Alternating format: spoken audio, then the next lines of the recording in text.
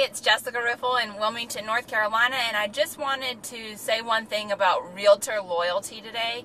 Um, some every once in a while, I'll get somebody that's you know wants to buy a house and they just really want the deal of the century. They want the best deal. Of course, we all want the best deal, and right now with the way um, it, it, the market is being a buyer's market, we have the ability to get phenomenal deal if, if you're buying. Um, and every once in a while I'll have somebody say well I, I don't you know i'm not i'm not working with one realtor. I'm i've got 10 realtors sending me you know listings. This is what i want. And if you find something that matches that and is just a really good price it's just a really good deal you know you let me know and um you know i'll let i'll, I'll work with you. And I, I guess I, I well i don't really understand that because if you think about it realtor loyalty is something that's so important if you are the buyer client purchasing the home.